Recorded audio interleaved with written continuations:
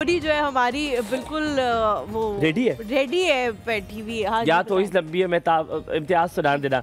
होता क्या न्यूयॉर्क में एक स्टोर है जैनी तू भी सुनना न्यूयॉर्क में एक स्टोर है और वहाँ पर ना आप जाके हस्बैंड खरीद सकते हैं। अच्छा हस्बैंड आप क्या? जाके हाँ हाँ। न्यूयॉर्क में एक स्टोर है जहाँ से आप जाके और अगर वो अच्छा ना निकला तो अभी सुनो तो सुन, सुन तो लो। हस्बैंड आप खरीद सकते हैं। तो वहाँ पर छह फ्लोर है।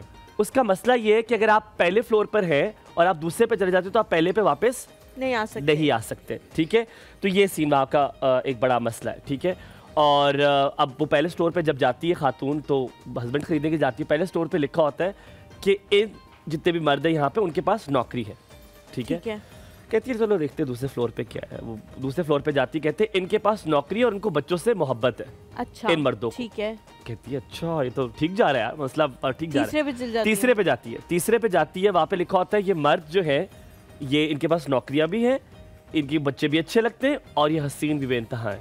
अच्छा। वो कहती है ओ मतलब जो उसको लगता है कि जैसे आप फ्लोर ऊपर फ्लोर पर जा रहे हैं तो चीज़ें बढ़ती जा रही गुड वेरी गुड चौथे हाँ। फ्लोर पे जाती है और जाती है और कहती देखती है कि वहाँ पे लिखा होता है कि इधर जो मर्द है उनके पास नौकरियाँ भी है बच्चों के से भी प्यार है हसीन भी बहुत है और इंतहा के रोमांटिक भी अच्छा।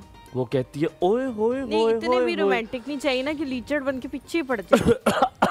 उसने यही अच्छा, सोचा होगा शायद। पांचवे पे गई। अच्छा। पांचवे पे गई पांचवे पे लिखा हुआ था ये मर्द जो है इनके पास नौकरियाँ भी हैं बच्चे पसंद है इनको।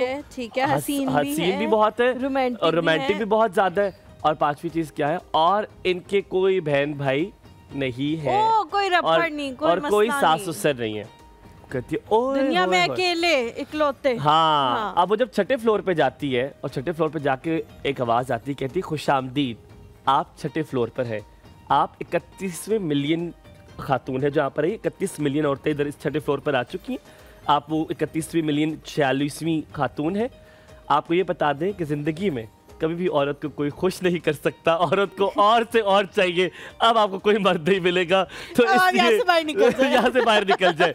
तो आपने औरत को देखा कि वो ज़बरदस्ती का शायद इससे ज़्यादा मिल जाए। मतलब आप औरत को खुश कभी नहीं नहीं ये मुझे लगता है औरत नहीं ये ह्यूमन नेचर है कि उसको एक चीज़ मिल जाए। तो जिस तरह बहुत सारे लोगों के बारे में एक हदीस भी है कि अगर इन लोगों को एक सोने का पहाड़ भी दे दिया जाए तो ये कहेंगे हमें एक और पहाड़ एक है सेकंड मुझे ये बताओ तुमने कभी मंसूर से कहा है? कभी हाँ, तुमने मंसूर से हाँ। कहा है कि मंसूर आप मुझसे बहुत मोहब्बत करते हो मंसूर। आप जैसा मुझे नहीं लगता इस दुनिया में कोई और हो सकता। और मंसूर आप ही है वाह और हर रोज तुम ये कहती हो नहीं ना।